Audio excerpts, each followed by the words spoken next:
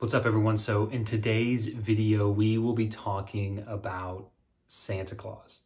And no, no, no, we are not going to be talking about the actual real life person who did live named St. Nicholas. No, we will be talking about the made up fictional character named Santa Claus who we see all around at this time of year in the month of December, the man with the red suit, big belly, white beard. He's got a sleigh with reindeer, and he flies around the world delivering gifts to all of the children who are found on his good list. And for those children who are not found on the good list, they're put on the naughty list, and coal is what's delivered in their stockings. So, guys, why are we talking about this?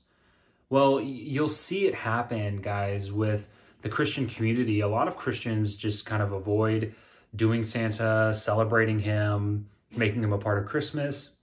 And you'll see people who are on the other side of that kind of look at those as if they're causing their children to miss out on something magical.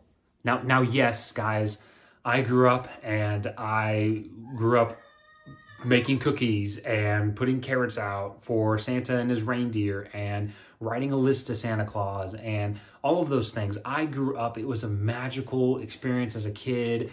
I'm not traumatized after finding out that Santa Claus wasn't real. Um, it didn't affect me in any way. But guys, that's what it was about for me. And and see, we all know the song. I'll read it for you, but it's you better watch out. You better not cry. You better not pout. I'm telling you why. Santa Claus is coming to town. He's making a list. He's checking it twice. He's going to find out who's naughty and nice. Santa Claus is coming to town. And then it talks about he sees you when you're sleeping. He knows when you're awake. He knows when you've been bad or good. So be good for goodness sake. And then the song goes on and it's pretty repetitive. But see, here's the issue with the Santa Claus that we have created with the red suit, the big belly, the white beard. See, the issue lies in what we are telling our children. Listen, you better be good. If you want gifts, if you want that new toy, you better be good. You better obey what I'm saying because Santa Claus is watching. And if you're not good, then you don't get those things.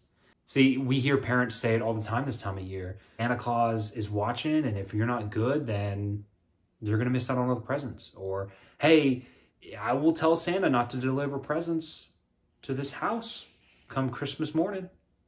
You know, so we, we see it said, we hear it said, and and that's actually what the issue is, because this goes against what Christ taught. See, Christ offers us the ultimate gift. This gift that he offers us is free. There's nothing that we can do good wise to earn it. There aren't enough good morals that we can do in order for him to give it to us. See, this gift that I'm talking about, guys, is completely free. And it's the gift of salvation. And we see in Ephesians chapter 2, verses 8 to 9, how we receive this gift.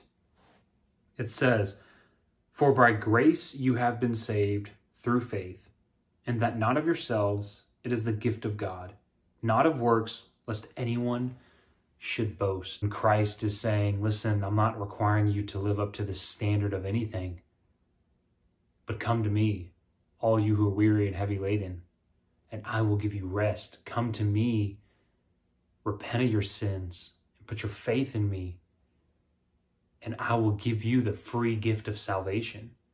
I understand that December 25th was not the Savior of the world's birthday. Jesus was not born on December 25th. I, I understand that. But that's not the point because if the Lord wanted to make it a point to tell us when the Savior of the world was born, he would have put it in his word for us. But he didn't. And the fact is, is yes, Jesus was born.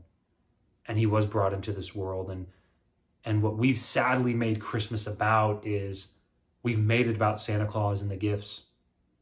When really Christmas is about remembering the birth of our Savior, the one who can save us from our trespasses and sins, the one who can grab us and pull us out of the direction of going to hell and bring us into his kingdom of heaven.